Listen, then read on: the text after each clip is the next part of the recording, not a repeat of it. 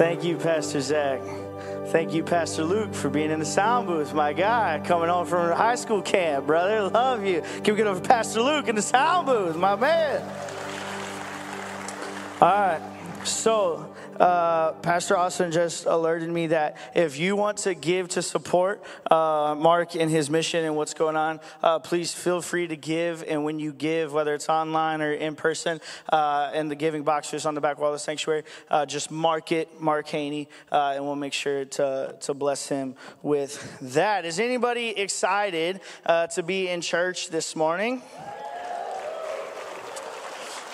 I'm excited to be in church. Uh, I'm gonna be honest, we went a little too hard at high school camp. Uh, I lost my voice day one. Day one, it was gone. Praise God, we brought a megaphone with us. I was using that the rest of the week just to have normal conversations. Um, so, you know, down in cough drops, drinking warm drinks, trying to get it back for today. Uh, but you can also be praying for me. Today, after second service, I leave to go to Wisconsin because I'm preaching uh, a camp in Wisconsin. Praise God. So pray I have a voice. You know what I'm saying? Like, praise Jesus. Otherwise, I'll be doing a lot of whispering to kids and they'll have a weird experience. You know what I'm saying? Come on, Pastor Jeff, I just want to say thank you for letting me out of my cage today. We're going to get wild, okay? Don't worry, next week I'll be back in my rightful place, all right? Back in the cage, ready to go. This morning, uh, uh, I just want to tell you this God moved in mighty ways in our students' lives at high school camp. Mighty ways God moved. And let me tell you something. If you if you're wondering about the next generation of the church, now they're the now generation of the church. Your students are hungry. Your students want a mighty move of God. Your students want to experience God. Your students want to be uh, uh, uh, challenged more to press into the Spirit, to press into the presence, to go deeper than they've ever gone before. I can tell you almost every single student, we took 93 students to high school camp. And on Thursday night, almost every single student from our church was in the auditorium pressing in well past the sermon was over, well past they dismissed, until almost 1230 in the the morning on Friday, our students were there praying with each other, seeking more of God, seeking the Holy, the Holy Spirit. Our church is in a good spot. Our church is in a good spot, and our students are ready. They're ready to lead. They're ready to be asked to do stuff. They're ready to serve. Uh, so, man, praise God. Can we just praise God for our students this morning? Yes. All right. So, this morning we're continuing our series on holiness, and uh, we've been talking about pursuing holiness, being people who live a holy life. And if you've missed any of our messages, um, they are available on uh, YouTube, but we're also making the audio available so you can watch the video on YouTube or you can listen to just the audio only on Spotify, okay? Uh, Spotify, if you don't know what that is, you can come talk to me or Pastor Luke or somebody who's young. Uh, they'll explain that all to you. Pastor Zach. Uh, they'll explain all of that to you. Uh, if you wanted to listen to the audio, we are making them available on Spotify. But this morning, the Bible says in 1 Peter chapter 1, yes, praise God. 1 Peter chapter 1, verses 13 through 16 says this Prepare your minds for action and exercise self control. Put all your hope in the gracious salvation that will come to you when Jesus Christ is revealed to, to the world so you must live as God's obedient children. Don't slip back into your old ways of living to satisfy your own desires. You didn't know any better then. But now you must be holy in everything you do, just as God who chose you is holy. For the scriptures say, You must be holy because I am holy. You must be holy because I am holy. If you're a believer in Jesus, if you've chosen to follow him with your life, you've been called to pursue holiness.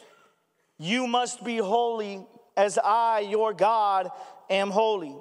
That's a strong command. That's a strong command because I know myself. And inside of myself, I ain't holy, okay? And I bet all of us would say that. We recognize that we're broken. We recognize that we're human. we rec- we recognize that we're imperfect. And this feels like a command that is hard to live up to, that is near impossible to live up to, to be holy like God is holy. But here's what we know about our God our God will never give us a command that He doesn't also give us the tools to fulfill. Our God will never give us a command without giving us the tools to fulfill them. So, what that means is that it's absolutely possible to live a holy life. It is absolutely possible to live a life that is in the world but not of the world. It is absolutely possible to live a life that is set apart and purified for the work of the kingdom. It is absolutely possible to live a life that is dedicated to Jesus but then looks and acts like Jesus. Friends, you and I, we can live holy lives. We can. But the truth is, it's going to be hard. It's going to be hard. Anyone who's followed Jesus for any length of time can attest it's a hard life. Jesus ain't called us to live an easy life, He called us to live a holy life. That means that we have to make hard decisions.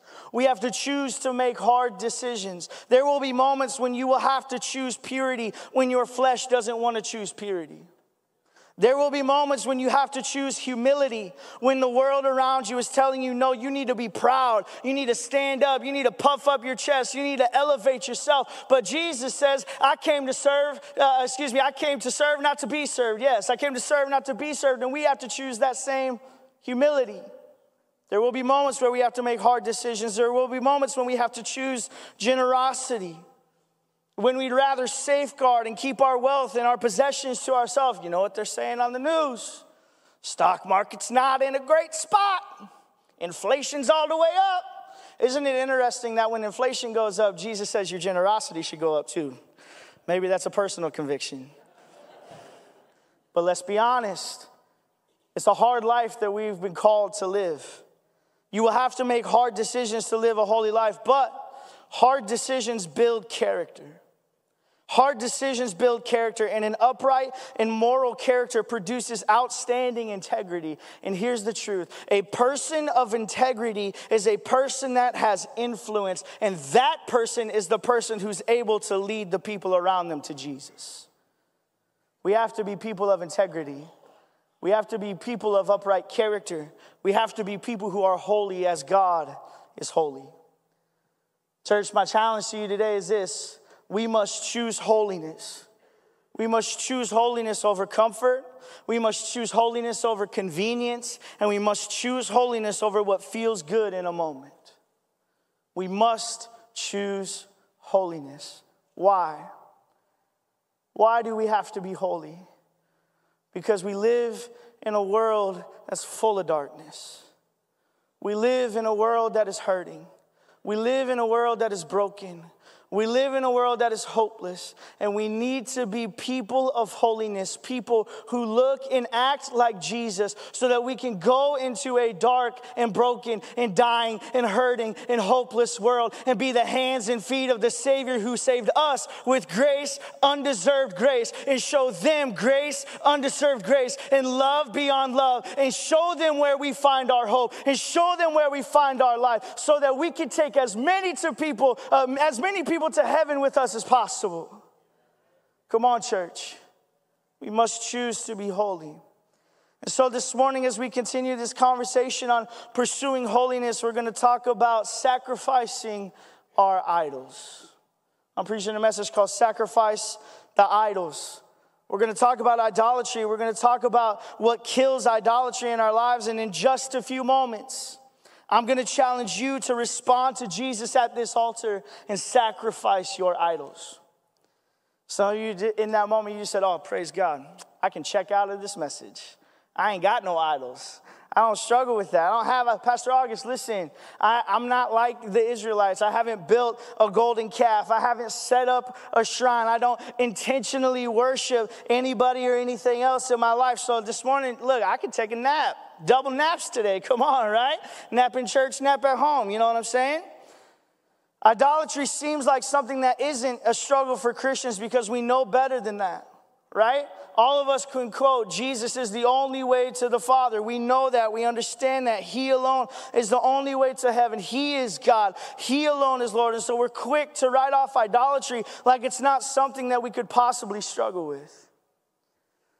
Let me tell you a story. Some years ago, I was, I was listening to a random playlist on, on, Spotify, on Spotify, a random worship playlist on Spotify. And this song came up.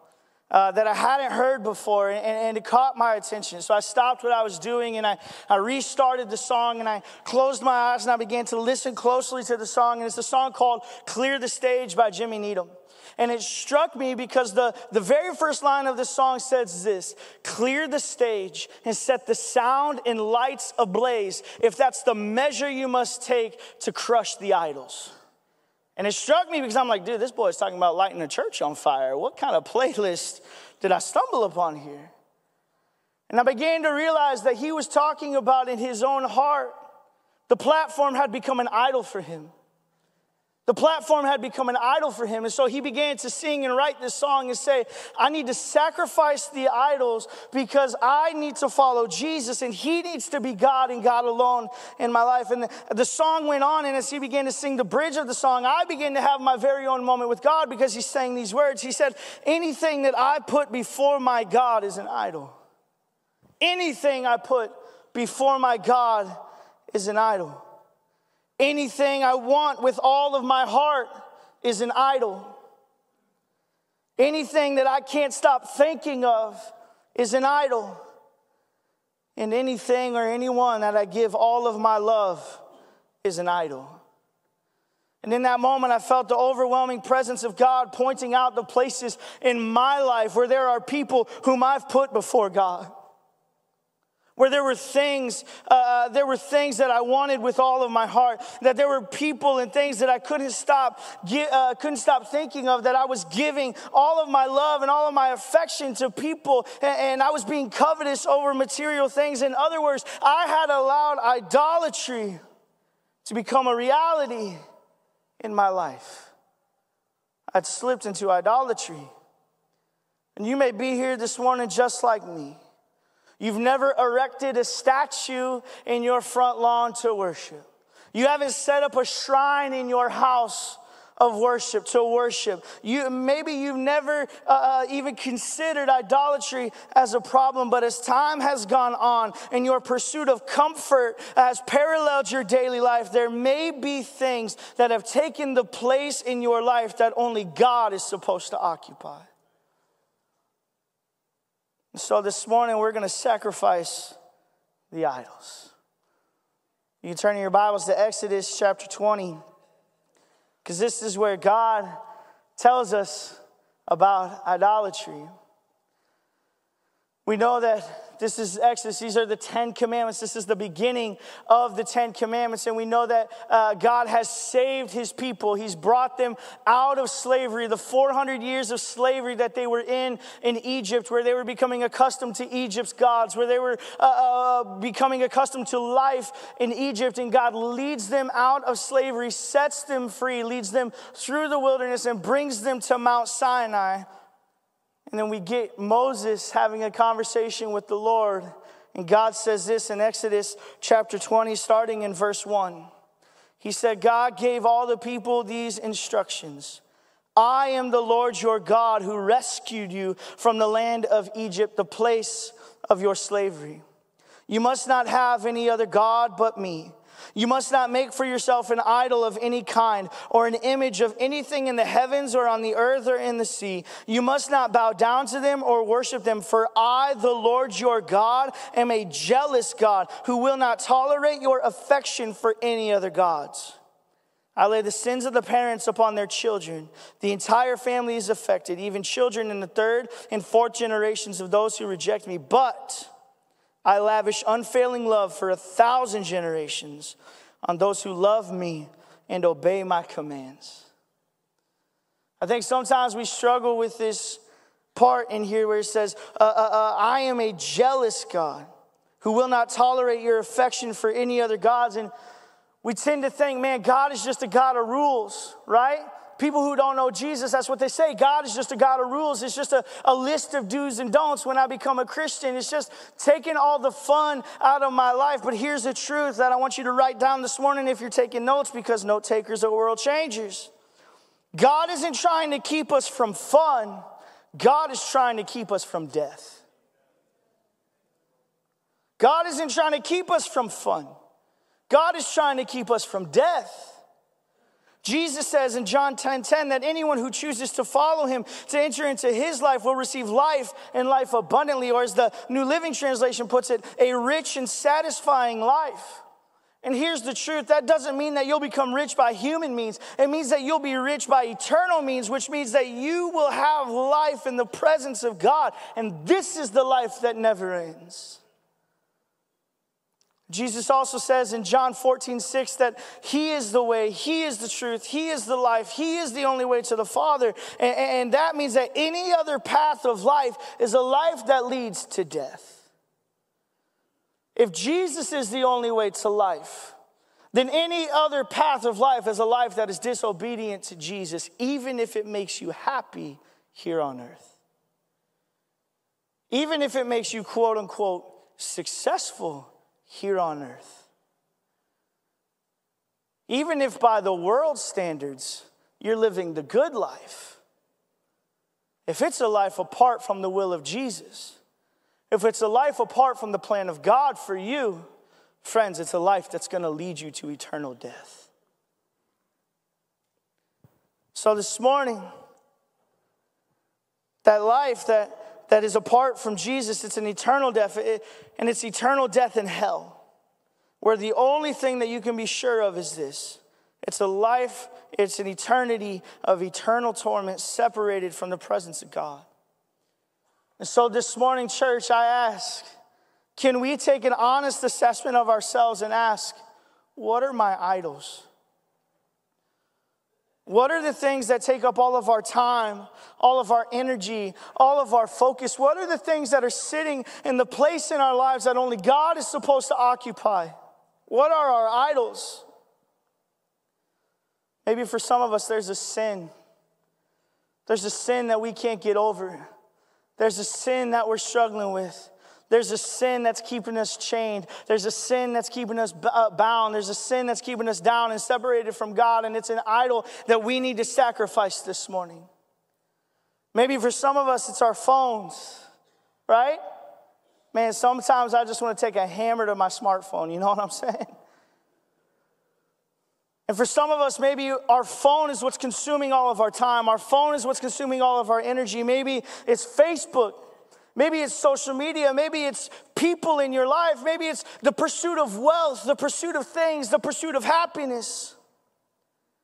But let's be honest, sometimes the things that we've idolized, the things that we've made idols in our lives aren't bad things. Maybe it's our family. Maybe it's our job. Hold on, Pastor August. Hold on. I love my family. I'm loyal to my family. My family needs to know that I love them. I sacrifice for my family. That's who I'm called to be. But remember what Jesus himself says in Matthew chapter 10, verses 37 through 39. He says, If you love your father or mother more than you love me, you are not worthy of being mine. If you love your son or your daughter more than me, you are not worthy of being mine. If you refuse to take up your cross and follow me, you are not worthy of being mine. If you cling to your life, you will lose it. But if you give up your life for me, you will find it. Do you know what that means? That means not only are you not supposed to be in charge of your own life, God is. That means not, you're not supposed to be in charge of your own family. You can trust them to God. And when we choose our family, our father or our mother, our brothers, our sisters, our sons, our daughters, our, our nieces, our nephews, our grandkids, when we choose those things instead of God, when we sacrifice our time with God, when we sacrifice our relationship with God, when we sacrifice even maybe meeting together on Sundays for our families, what we're saying is, God, I can't trust you with them, so I have to take control. And because I have to take control, because I can't trust you now, I'm worshiping my family. I'm idolizing. My, my family is sitting on the throne in my heart instead of you. And that's a hard command. That's a hard command, but let me tell you something this morning. Jesus is more trustworthy with your family than you are.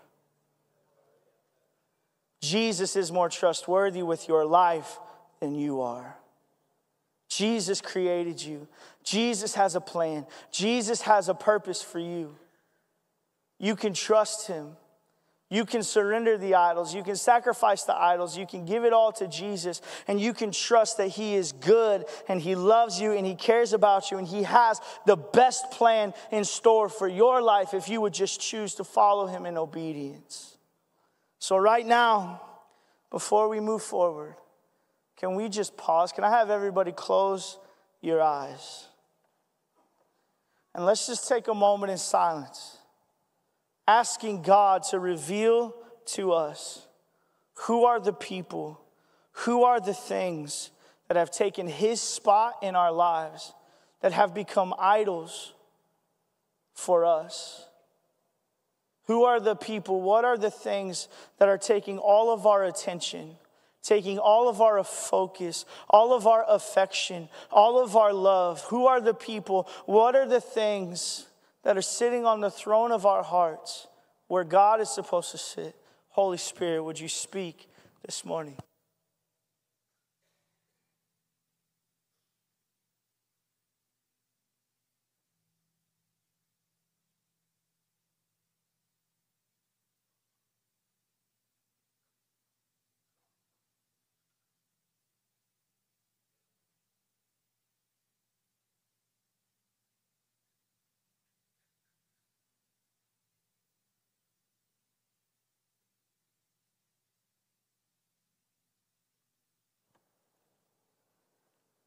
I believe the Holy Spirit is revealing to us those things, those people that have become idols for us.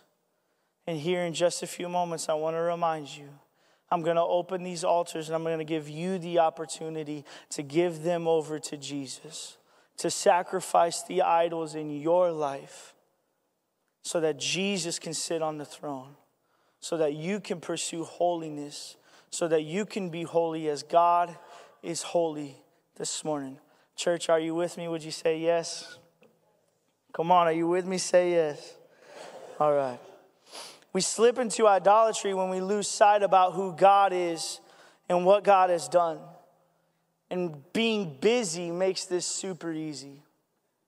Being busy gives us an easy excuse. I'm too busy to spend time with God. I've got these I got this list of a thousand things that I need to get done today and so what falls off the list is the time with God when in reality all the other things need to be scheduled around our time with the Lord. Our relationship with Jesus. Busyness makes it super easy to lose sight about who God is and what God has done. And so, to kill idolatry in our lives, we have to choose to be spiritually disciplined and keep our eyes and our hearts focused on Him. So, how do we do that, Pastor August? Great question. Like I said, God doesn't give us a command without giving us the tools to be able to fulfill it. And so I believe that He's given us three ways to kill idolatry in our lives and keep our eyes and our hearts focused on Him and what He's called us to do and who He's created us to be and how He's called us to live. And way number one is this we have to know His Word. We have to know His Word. That means that we have to have a daily routine of Bible reading and memorization.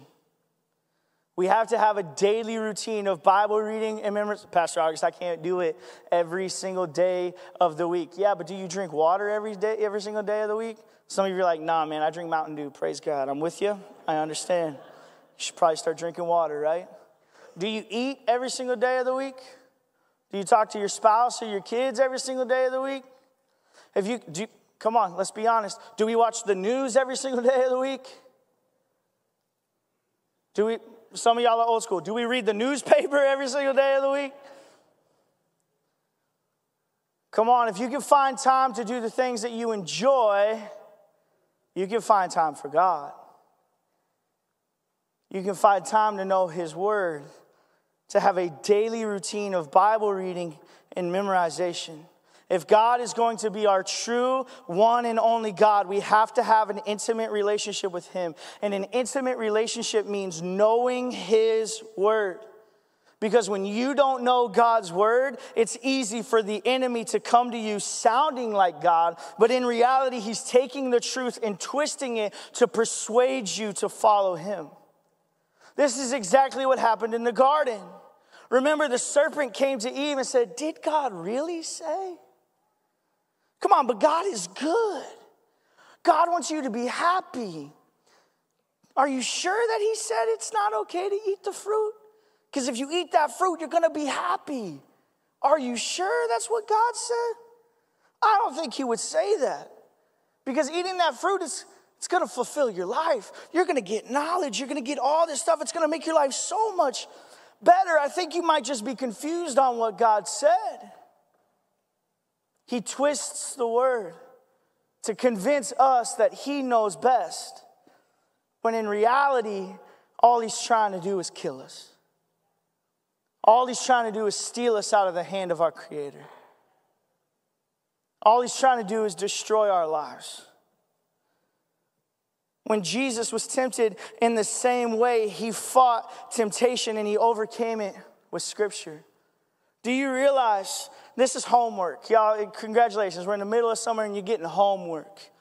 Go home and read through the accounts of Jesus being tempted in the wilderness. Because the devil comes to him, and every time he says, It is written, that means that he knows the word. That means that he's using the word of God to pull you away from God. But how did Jesus combat it? Combat? Combat. Yeah, that's it. That's the word. That's the one I was looking for. How did Jesus uh, uh, overcome temptation? He responded with, It is also written. You might know the word, but I have an understanding of the word. That's the difference. You might know the word, but I have an understanding of the word. And I know you're quoting it to me, but what you fail to realize is I also know, it's also in my head, it's also in my heart. It is also written that you shall not put your God to the test. Come on. You have to have an intimate relationship with God, knowing His Word. And Jesus' intimate and close relationship with His Father and His Spirit living inside of Him gave Him the power and the ability to use the Word of God as a defense against Satan. It's easy to write it off because they say, well, Jesus was the Son of God, Pastor August. Aren't we co heirs with Christ? Aren't we children of God? Didn't Jesus give up his divinity in heaven to come down fully human and fully man? Wasn't he anointed with the Holy Spirit at his baptism just like we are? If Jesus can do it, so can we. Why? Because he's given us his spirit to live inside of us. He's given us his power to live inside of us and to operate inside of us and to operate through us. It's the same Spirit of God that rose Jesus from the dead that lives inside of us, and so we can overcome temptation. But it only comes through having an intimate relationship with God and knowing His Word. Number two, the second way that we kill idolatry in our lives is, in our lives is we have to live in His presence. We have to live in His presence. What does that mean? That means that we have to have a lifestyle of prayer. A lifestyle of prayer. Here's why you have to be able to distinguish between the voices of chaos and the voice of your Father.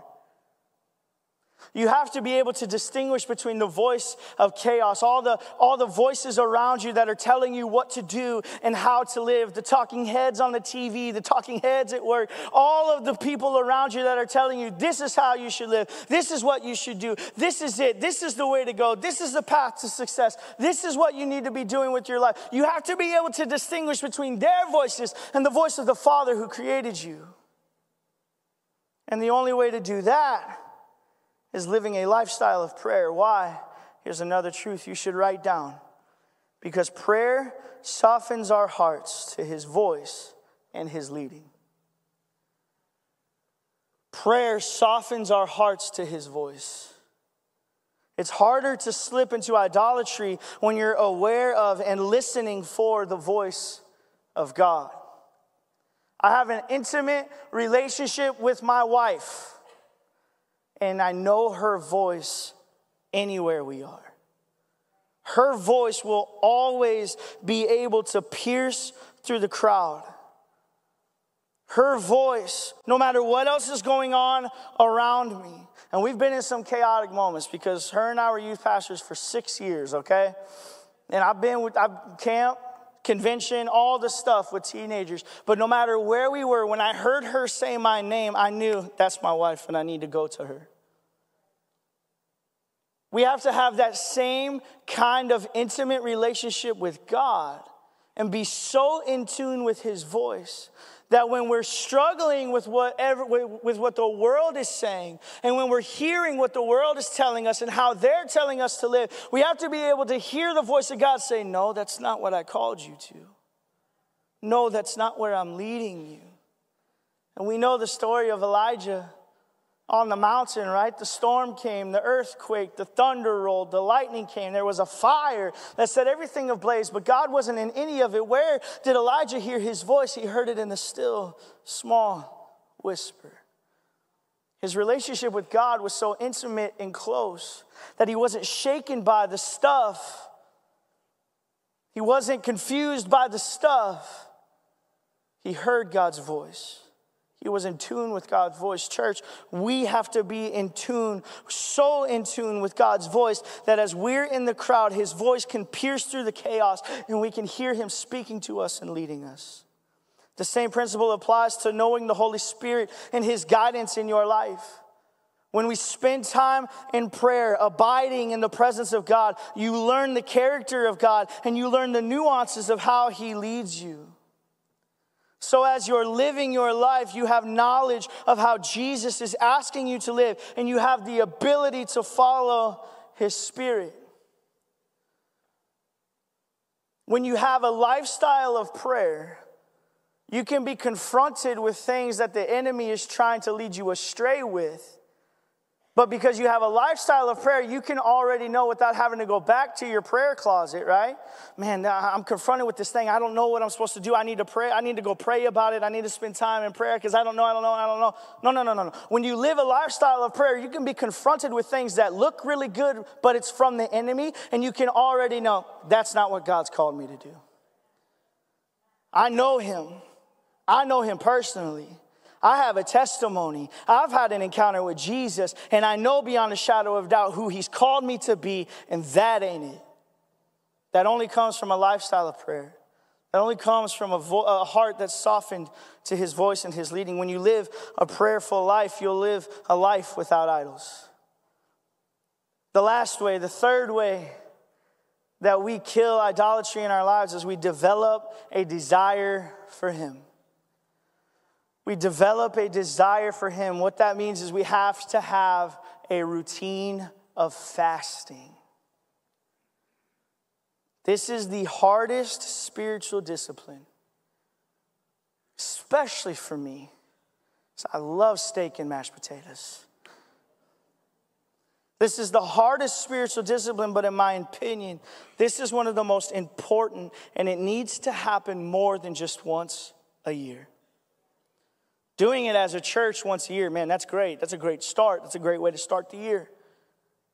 But we have to have a personal routine of fasting. Why? Because here's the third truth for you to write down. When you fast, you repurpose your cravings for a desire for God. When you fast, you repurpose your cravings into a desire for God. The hardest three months of my life were at the beginning of this year January, February, March. You want to know why? Because in those three months of my life, I gave up soda pop. It was difficult. And every time, it was extremely hard and difficult, but for those three months, every time I had a craving for the sweet nectar of Mountain Dew, I had to stop. I had to take an intentional moment to say, it might taste good, but it's not what's best for me. It's not what's best for me. water is what's best for me. So I have to choose water. Water is what's best for me, so I have to choose water. Same principle applies to God's presence. Fasting gives us the opportunity to practice making hard decisions. Fasting deepens our desire for the first two spiritual disciplines. When we give up that time, when we give up that thing that we're normally doing, we choose to instead take that time to intentionally be with Jesus. We're deepening our faith in Jesus, and therefore we're stepping farther into the life that He created us to live. Fasting produces character in us that makes taking up our cross and denying ourselves a reality. Church, this is an all or nothing kind of faith. It's all or nothing. We either give it all to Jesus or this life amounts to nothing. We either live in obedience, total surrender to Jesus, or this life amounts to nothing. And this morning, my prayer is that none of us would live with hearts that are far from Him. None of us would live with idols. None of us would live with hearts that are far from Jesus. So, my challenge to you this morning is simply this Will you sacrifice the idols of your life so that God can reign and Jesus can sit in his rightful place on the throne of your hearts? Will you sacrifice your idols? Pastor Brandon Cormier at Alive Conference 2020, he said something that has stayed with me ever since I heard it. He said this there are two places in every person's life one is occupied by you, and the other is occupied by Jesus. Place number one is a cross, place number two is a throne. So, what that means is if you are sitting on the throne of your life, then Jesus is occupying the cross and is in effect dead in your life. But if Jesus is on the throne of your life, which is where he's supposed to be, then you are in the rightful place. And you, excuse me, then you are in your rightful place which is on the cross. That is what is called dying to yourself so that Jesus can live in you. Dying to yourself so that Jesus can live in you. Will you stand with me this morning? This morning I ask, who is on the throne of your life? Is it you or is it Jesus? If it's you, then this needs to be your moment of surrender. You on the throne can look a multitude of different, different ways. Maybe it's you and the stuff you have that's become an idol. Maybe it's you and the wealth that you're striving to acquire that's become the idol. The version of you that is consumed with pleasing people, trying to make sure that the people around you uh, uh, like you, they want to be with you, they care about you. The version of you that is still chained down and, and locked up with sin, maybe that's the version of you that's on the throne. Maybe it's you in the, the minor things, the stuff that you've elevated past where they're supposed to be. Who is on the throne of your life? Remember Pastor Jeff's challenge last week. If there's something that you can't part with, maybe you need to talk to Jesus about it because that thing has probably become an idol. So, my final question to you this morning is this Will you sacrifice the idols? Will you choose a spiritually disciplined life? If you're saying yes, I will, that's me. Then show it. Prove to yourself that you're willing to make the hard decisions. Step out of your comfort zone. Respond to Jesus at the altar. No coercion, no fancy speech, no bribing. It's your choice this morning. I'm going to pray. We're going to sing. You choose to respond. Jesus, I pray that we would be people who sacrifice our idols. I pray that we would be people who choose to live in obedience to you. I pray that we would be people who are on the cross of our lives so that you can be in your rightful place, which is on the throne. God, I pray that we would be people of character and people of integrity, God, who follows after you. Lord, I pray that every heart in this place, that every person in this place would sacrifice the idols. Jesus, speak to us this morning.